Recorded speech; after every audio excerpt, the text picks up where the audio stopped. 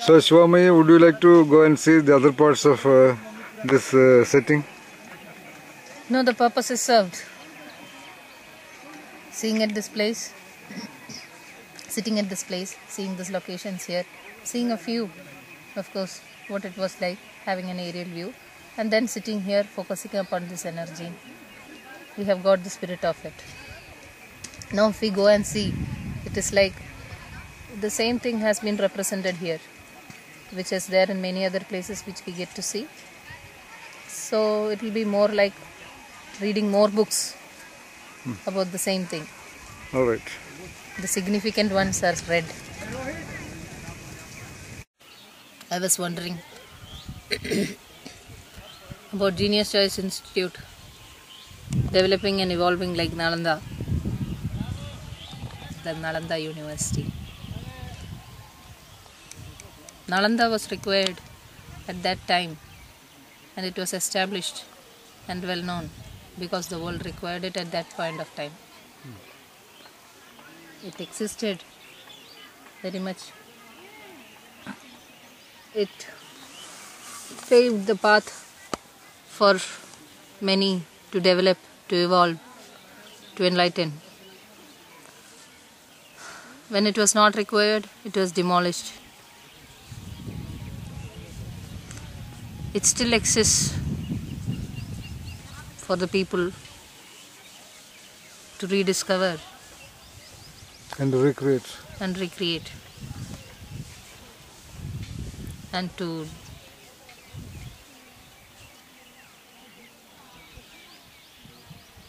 so if the world requires something of course it, just, it will naturally get established get developed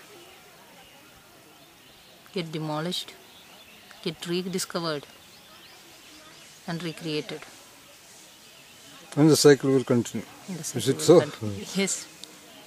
The evidence that uh, uh, just being exposed to this place huh, doesn't work at all is that the people who work here, you know, the caretakers, huh, those who sit here throughout the day and perhaps in the night, they don't uh, develop anything, you see.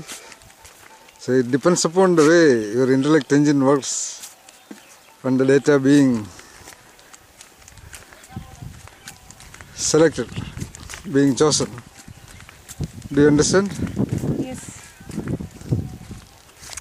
Evidence that uh, being uh, staying in the Himalayas and the caves and all those unique places do not work is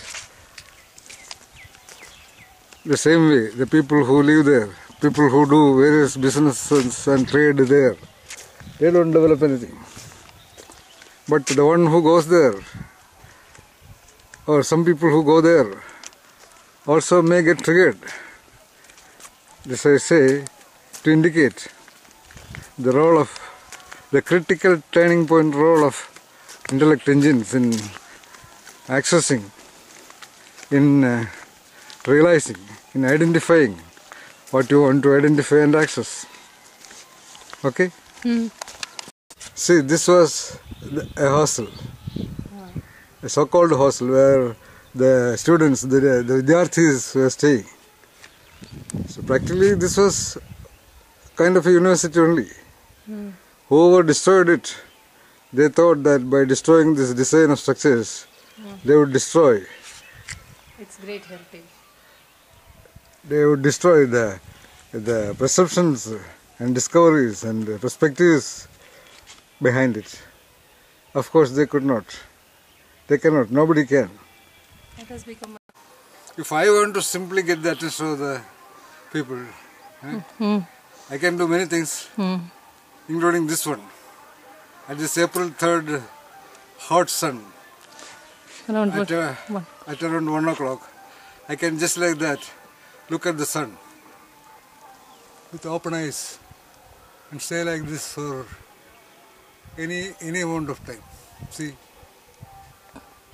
Without any problem.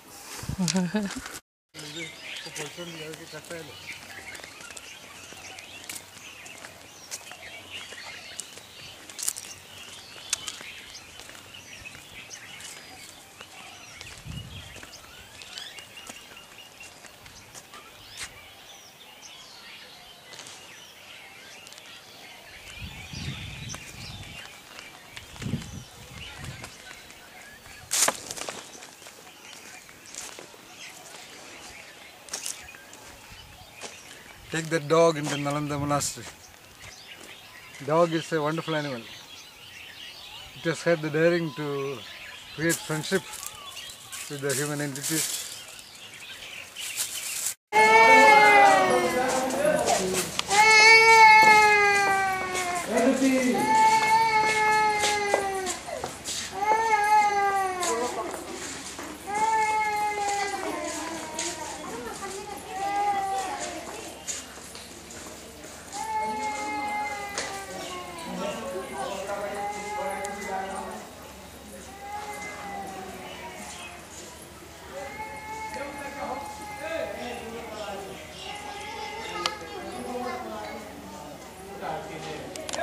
So Shivami, Shivami, what did you see in the Mahavir temple?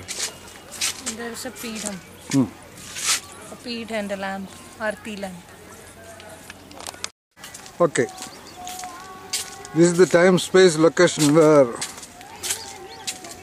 the great genius Mahavir attained his Tower of Enlightenment. See how this place is maintained. So every unique place, it's a unique place, it's a unique place. So it indicates, it talks to you that you have to identify the uniqueness of or the unique space setting of your own mind setting. Unique setting where the unique components of your entity are placed within the vast, ever flowing, massive,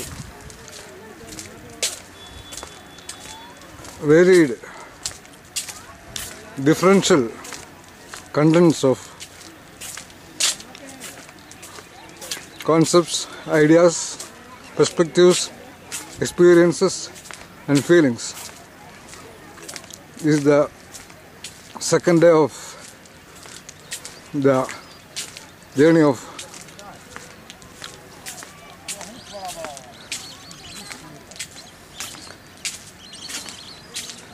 our perceptions through the Buddha trail.